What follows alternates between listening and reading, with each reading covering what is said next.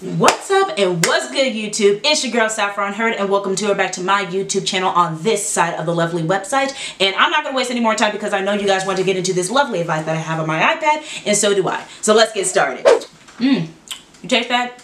Because I taste some fresh meat. Kids that had pennies thrown at them, kids that um, entered high school from 8th grade has spent five years in elementary school. Yeah, those kids are called freshmen. And as freshmen, some of y'all, and yes, I say some of y'all, let me be fair, some of y'all come in knowing what to expect, and some of y'all come in like this.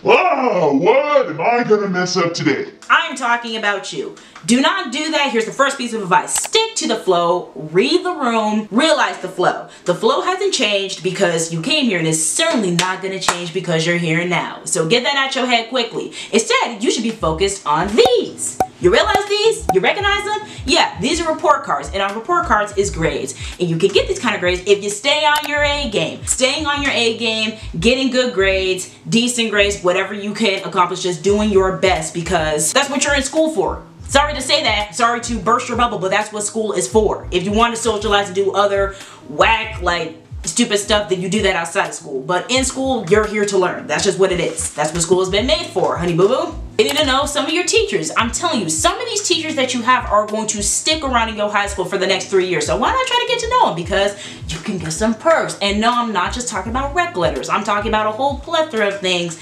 that they can offer that's what I'm saying because I've gotten like a lot of perks from a lot of the teachers that I've known and I wouldn't say befriend but have been nice to them. They've been nice to me. Let's not get that twisted but that's just the kind of energy that's been reflected in the person that I've gotten from these actions. It pays off. Trust me.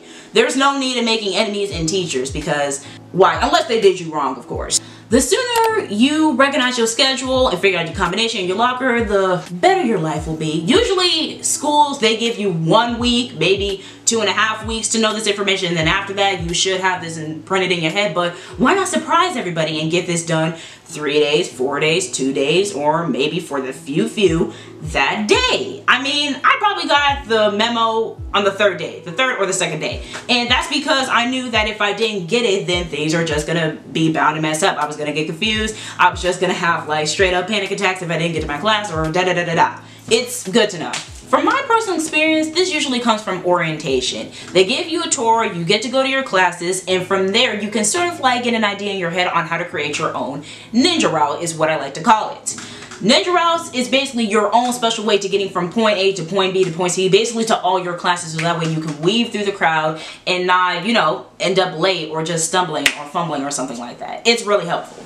I've created multiple ninja routes because there are three top, like three levels to my school. Some of my classes were like on the second level. I probably had one up here, probably one in the basement, but I had to figure out how to get to those because there were some spaces that were blocked off from others to where I couldn't get to the other side of the school, but I knew in my head that there were other parts of the school, like staircases and stuff that I could use to get to one class to another. You get what I'm saying? Recognizing your true friend. A lot of the people that you came to high school with probably don't mess with you because like I said a lot of y'all get bloated heads infatuated egos can be the death of you and it can be the death of some of these um, friendships and relationships and la da da da da da so even if you have to make new friends, make new connections or whatever, that's okay because there's always going to be falling out when it comes to people. That's just how life is. People's opinions change and all this other stuff, so it's okay. I made like new friends in high school during freshman year. In fact, there was one girl that has still, to this day, been my very, very good friend. Shout out to you if you're watching this video. And of course, I've had friends from like elementary and middle school that have came to my high school, but we're not as close. More so, like, y'all might hate this word, but associates. I see them around, we say hi, we're cool, but we're just not like this, like clung together, like best friends, friends, my homies and stuff like that. You can also find it in the upperclassmen. I promise. We don't bite. We don't do swirlies. We don't give you wedgies. We don't slam you into lockers. We're more so just a chill bunch unless you mess with the flow, as I said, because we got places to go. If you recognize that, then we're cool. I made, like freshman year, I made a couple of upper class friends that we was cool with, mostly through theater. And when I was still in theater, junior and senior year, I still made underclass friends. So they knew that I was cool. They described me as sweet. And yeah, there's really not much to say about that. but you can take on a lot if you do too much. Taking in all these activities and clubs and all that stuff, you don't have to do all that your freshman year. You could take a club or an activity, but you shouldn't really do all that because you're getting acclimated to high school life. So why would you just clump all of those activities together. And this is gonna come again in the junior section. So juniors, stay tuned, this is gonna come again, but it'll be more lucrative. But for freshmen, don't push all that on you. Trust me, it's not a good look. You're gonna get your little head stressed out and it's just, ugh, okay? Woohoo! Congratulations, you freaking softies. You made it through your first year. You're moving on up and you're classified as an upperclassman, but With upperclassmen powers comes upperclassmen responsibilities. And one of those is keeping a level head and some freaking common sense. So do not walk around the school as if your stuff don't stink, as if you weren't in the freshman's place, what, three to four months ago, like in May or June. So watch that. Nobody likes the snooty snots, but one thing that you can march around and keep a high profile on is with AP classes because this is actually the perfect time to get into AP classes because there's not as much um, strain or weight on you. And I like to describe this as not being under the adult spotlight. And being under the adult spotlight goes like this. Freshman year, they're trying to get them kids acclimated to high school so that way they don't fall off. Juniors, they're trying to prepare them for all these freaking tests, SAT, ACT, you name it. It's seniors, they're trying to get our butts out of here and graduated. So that just leaves you guys with nobody's hands on your shoulders. So why not just take advantage of this and just let your little wings fly with them activities and clubs and of course AP classes. Trust me. Need a reference? Here's a video that I made concerning AP and dual enrollment. Just ignore the dual enrollment part. You don't need to worry about that because dual enrollment probably isn't available to you sophomores. Mostly available available for juniors and seniors. Now this last one might sound a little bit crass, but it's totally my opinion. This might be the year that you guys come out of your shell. For all my shy people, your shell might break, you might blossom and bloom into a lovely little flower. And that's because if you have surrounded yourself around good people and have joined activities that you love, you might branch out and join activities that you never thought that you would actually join or get to talking to people if you're like antisocial like me, still working on it. This might happen and it's because for one, you're in the peak of puberty, which is like 15, 16. Yeah, 15, 16 is what I categorize as like the peak of puberty because 14, 13, you're still pretty young. And then 17, 18, you just I don't want to say old, but some people just gonna call us old as a joke. 15, 16, the peak of puberty. All those hormones and stuff flowing through your body like butter. You're gonna feel like you want to do new things. You're gonna feel like, oh, I want to join this activity. I've probably never done it before. Like, you probably want to do a sport, stuff like that. Talk to somebody that you feel like you could talk to and you just talk to them. Like, it's a beautiful thing. It really is. See, it's that one year where you're almost there. You're almost at the finish line, but it's also that year where crap hits the fan. Yes, juniors, I'm talking about you. Now let's get to your tape. SAT, any type of testing, just take it with stride. I'm not saying take it seriously because honestly, 30 years from now, SAT, ACT scores might not mean anything, but at the same time, we're still in 2022 and they still take that seriously in most colleges. So just take it with stride, build like a study plan, take a practice test at home because they do offer like in some schools offer practice tests, but sometimes you just don't want to do it through them. You just want to do it by yourself. So find one on the internet. Trust me, there's plenty in the math, in the reading, and science, or whatever. They're there. Same can go for ACTs. I don't know if some schools do it, but apparently they do, because, hmm, not me. ACT still applies too.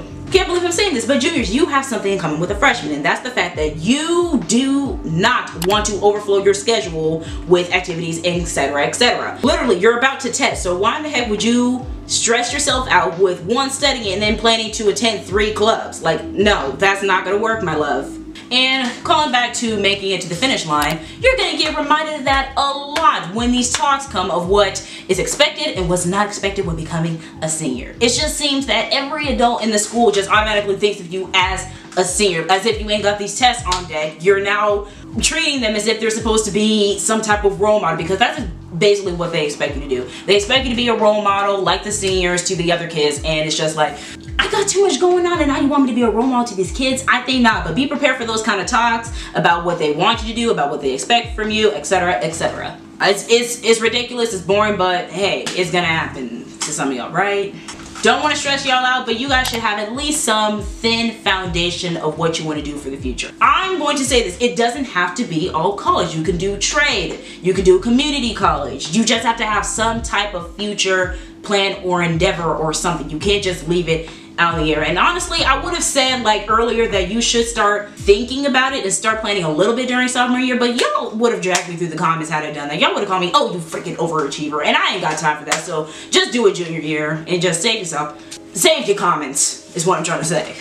And finally, the last tier of the school, but not the last portion of this video, the seniors, aka me, aka my friends, aka the class of 20 freaking 2. We finally made it three years in that same school with the same drama and the same everything. We finally made it, but keep on your A game, keep on your A game. Senioritis is a real thing. It can hit you and pack you a punch. For some people, it's right then and there. For some people, it comes in the middle of the year. And for people like myself, it comes towards the end of the year. Senioritis hit me hard, and I'm not gonna lie, I got a little lazy. I really did, but look, I got all my credits, I graduated on time, and I'm not that lazy to the point where I'm gonna be finishing out my senior year in summer school and stuff. No disrespect to anybody who does, but that's what's gonna happen if your senioritis just overtakes you. For the love of everything, make them deadlines. Make the deadline to get your prom tickets, make the deadline for your senior trips, your senior activities. From experience, from knowing someone who was in charge of all that, she was literally about to blow a casket every single time a kid came, yo, can I get a prom contract? Yo, can I pay for Six Flags? And it was close to the deadline or it was already past the deadline. But all that time before the deadline, crickets. Where the heck were you at to get your ticket? And I get it. Some people cannot get money and stuff like that. I get it. But no, in fact, screw that. If you were able to get cash money to go to the gas station, then you're really telling me you couldn't get like 75 or 60 for like Six Flags or something like that. You couldn't have went to the ATM and remember to do that if you really wanted to go to this trip that badly. Are you serious? See, mm, you didn't want to go if that was the case. So yeah, make them deadlines, make their jobs easier. Please, it'll save you a lot of trouble and a whole a lot of yelling. as grown as y'all claim to be, act like it. Do not claim grown but you're still doing childish stuff in the school and I'm gonna get to it when I get to my general advice. Like some of the seniors that's in my class want to claim grown and do grown stuff but then when stuff hits the fan you'll want to run back and become a minor all of a sudden. Like you're 18 one minute and then you're 17 16 that's not how it works. That's not how it works and then even 17 year olds that are seniors, they be on some grown stuff too. They already have this grown mentality and they haven't even reached 18. But then the minute you reach 18, you're hoping to be a minor again. Like that's not how it works. Have some freaking maturity, people. Come on. It's not that hard. Ooh, it's getting a little bit too hot in here. And as I mentioned earlier, this is the finale. Every piece of advice from here on out is for all tiers, whether you're a freshman, junior, senior, it applies to everybody, okay? First off, no drama, no fights, especially in this day and age with the internet. Someone can easily snap a picture of you or a video and that's forever on the internet. There's no erasing it, there's no going back. So do you really want to taint your um, record like that? I think not because background checks is real. They see that stuff, they're gonna be like, uh, no. Next. Is that what you want? No, I don't think so. So think about that when you try and get into a fight with a little girl that says something about you during fourth period English or a boy that wanted to pick a fight with you just right then and there or just like anybody general that just want to try you on one because it's so freaking hot hot. Think about it. Politics and homecoming and prom court do not mix. Do not treat this as a political game. It is not a political game. It is a fun game. To campaign, to have fun, to be king, queen, princess, duchess, whatever for homecoming and prom. If you take it that seriously to the point where you feel like a blood vein is about to pop, then maybe you shouldn't um, join. Simple as that. I mean, I have fun doing mine. Granted, I got a little bit stressed because of the process of just getting my stuff in. But then again, I wasn't mean in any sort of type of way towards my competition. I wasn't trying to taint them or spread rumors or anything because it's not that freaking deep. Chances are people are probably not going to remember that I was senior princess five freaking years from now. You see what I'm, you get what I'm saying? This is all supposed to be fun, people. All supposed to be fun.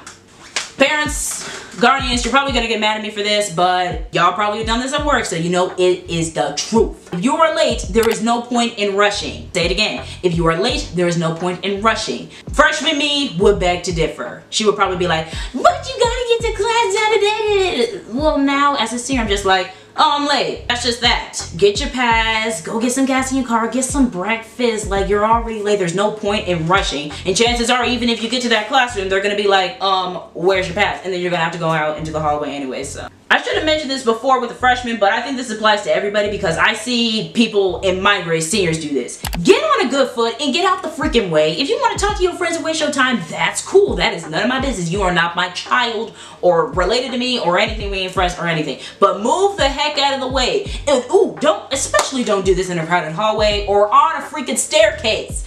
I heard that kids in my school legit be making TikToks like in the middle of the stairs. Like, what are you doing? Like, first of all, get your butt to class. And second off, even if you are gonna waste time to make a TikTok, make it in an open space. And then they have the audacity to get mad. It's like, I swear, nothing angers anybody more than when you're in their way when they're trying to get to class or just get to a specific location. When you're just seeing a whole bunch of kids in crowds in bundles and then you try and brush past them and then they be giving you an attitude. Then you should have moved out the way. Why are you like in a bundle in a pack? Like what the heck? Be a pack somewhere on the side. I ain't having it. And last and certainly not least, preserve those memories. I know there's gonna be good memories, there's gonna be bad memories. Some of you guys might just straight up say, oh, I hate high school, let this whole place burn down. But that's just in spite. Believe me, I've had those moments where I felt like I just really didn't like high school and I just wish that it was over. But I knew in my heart that there were some good times. I had a lot of good times freshman year, sophomore year, despite, hmm, excuse me,